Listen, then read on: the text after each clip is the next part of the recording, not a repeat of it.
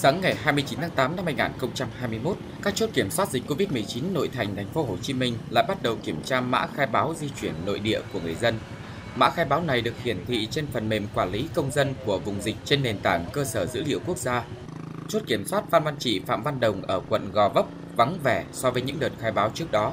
Đa phần người dân đều xuất trình được giấy đi đường hợp lệ, đã khai báo di biến động dân cư trước tại nhà và được lực lượng trực chốt cho qua.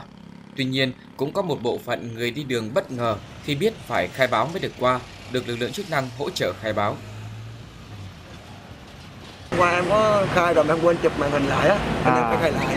Hôm nay thì việc khai báo của mình có gặp khó khăn gì không ạ? Dạ không ạ, tại vì ờ, cái khai báo này em đã quen rồi đó, tại vì mình hay di chuyển giao hàng á, nên là cái thao tác em làm rất là nhanh. À. Với lại ở trên cái ờ, cái khai báo nó cũng có hướng dẫn sẵn rồi thì mình cứ đọc theo câu hỏi mình trả lời. Dạ.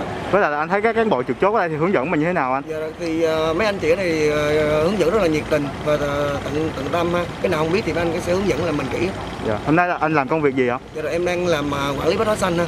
À cho nên là hôm nay là anh đi đi đâu để mà mình qua chốt này ạ? Giờ rồi em ờ, đi ờ, giao hàng cho người dân ở phường 11 mình á, phường 1 mình dạ, hôm nay là anh giao những cái mặt hàng gì chủ yếu anh Dạ, không? chủ yếu là lương thực thực phẩm như là mì, sữa, gạo, ờ, rau củ thịt cá các. Dạ. Nói chung là lương thực thực phẩm.